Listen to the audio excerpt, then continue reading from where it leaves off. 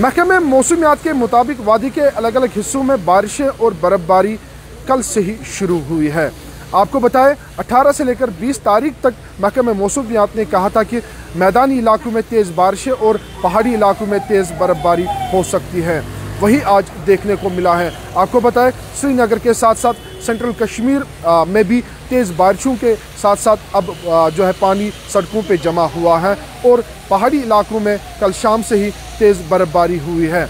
आपको बताएँ, सोनमर्ग, पहलगाम, गुलमर्ग, साधना टॉप, तुलेल, इन इलाकों में कल शाम से ही बर्फबारी हुई है और तीन इंच के करीब बर्फबारी हुई है। नाजरीन, अभी हम मौजूद हैं श्रीनगर में और श्रीनगर में भी आज रात से ही तेज़ बारिशों के साथ साथ अब सुबह से ही जो सड़कें हैं, इन पे पानी जमा हुआ है।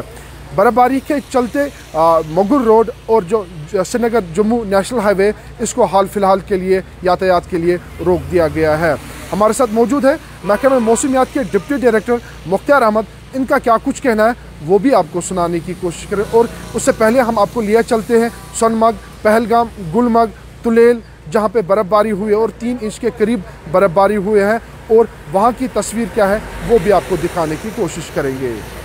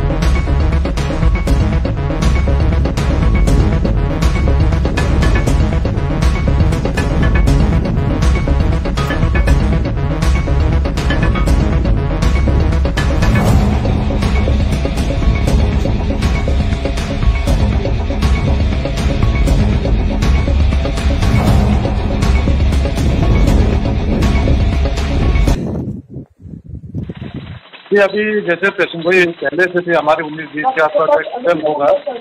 तो अभी आज मॉर्निंग तक जो जिस हिसाब से वेदर रिकॉर्ड किया गया है मैदानी इलाकों में हल्की से लेकर दरमियानी दर्जे की बातें पंद्रह से बीस मिलीमीटर के आसपास, और पहाड़ी इलाकों में लगभग एक डेढ़ इंच से लेकर चार इंच तक जो है बर्फबारी रिकॉर्ड की गई तो अभी वेदर जो है थोड़ा सा सिस्टम जो है, थोड़ा साउथ जा रहा है सुखियन बनियान इन सारे एरिया से पास हो रहा है। तो अभी यहाँ वादी के अंदर जो है थोड़ा सा कम होगा और उसके बाद ग्रेजुअल इंप्रूवमेंट होगा आज दोपहर के बाद। तो इंशाल्लाह आज इवनिंग से जो है मौसम जो है कुछ खुलने के चांसेस हैं। तो सर ये बताएगा कि आ, ये जो आ, कल से कहा गया कि 10 दिन जो है मौसम खुश्क रहेगा क्या कुछ हकीकत है वो बताएगा सर?